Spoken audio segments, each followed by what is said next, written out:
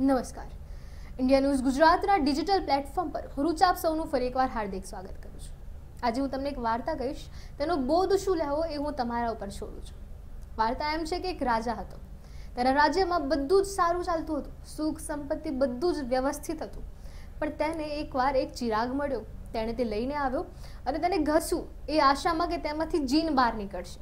પણ ખરેખર એમાંથી એક જીન બહાર આવ્યો, જેને કહ્યું કે માંગો, શું વિશ છે તમારી? તો રાજાએ કહ્યું કે મને સોનું જોઈએ છે. એમ તો મારી પાસે બધું જ છે, પણ હું મારા પરિવાર માટે, મારી પ્રજા માટે વધારે કંઈક કરવા માંગુ છું.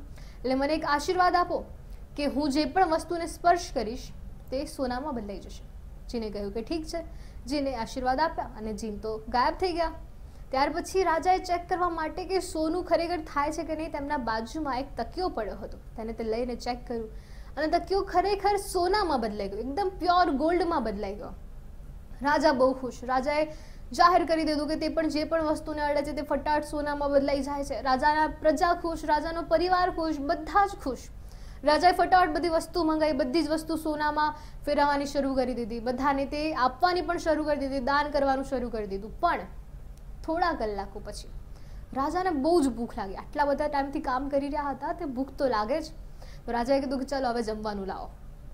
રાજાની સરસ મજાની મોટી થાળી એકદમ પીરસાઈને તેમના સામે મુકાઈ દીધી. પણ જેવું રાજા તે થાળીને અડવા ગયા, અડ્યા, ત્યારબાદ આખી થાળીને થાળીમાં રહેલા બધા જ જમવાનું જે બધું જ હતું તે બધું જ સોનામાં બદલાઈ ગયું. રાજાને પછી સમજાયું કે અચ્છા, આ તો મારો આશીર્વાદ હતો ને કે હું જેને પણ અડીશ તે બધું સોનામાં બદલાઈ જશે. પણ તેનો અર્થ એ કે હું ખાઈ પણ નહીં શકું. તો હું જીવીશ કેવી રીતે? આ વાત સાંભળીને પ્રજાજનો પણ દુઃખી હતા, ત્યારે રાજાનો પરિવાર પણ દુઃખી હતો અને રાજા પોતે પણ દુઃખી થઈ ગયા હતા. હવે રાજાને દુઃખી જોઈને તેમની એક પ્રિય પુત્રી ત્યાંથી આવી અને તેને જોયું કે મારા તો, મારા પિતા તો બહુ દુઃખી છે અને સ્વાભાવિક રીતે તે દીકરી તોડીને પોતાના પિતા પાસે આવી આશ્વાસન આપવા માટે કે પપ્પા, બધું જ સારું થઈ જશે. અને રાજા એક પિતા પણ છે અને એ પિતા ભાવુક થઈ ગયો અને તે ભૂલી ગયો કે તેને શું આશીર્વાદ માંગ્યો હતો. અને તેને ભાવુક થઈને પોતાની દીકરીને ભેટી લીધી. અને જેવી તેને દીકરીને ભેટી, તરત જ દીકરી આખી એક સોનાની મૂર્તિમાં બદલાઈ ગઈ. હવે તમે જણાવશો કે રાજાને મળેલો હા આશીર્વાદ છે કે શ્રાપ છે? અમને ચોક્કસથી જણાવશો, ફરીથી મળીશું એક નવી વાત સાથે, નવા વિષય સાથે. ત્યાં સુધી રજા આપશો, આભાર.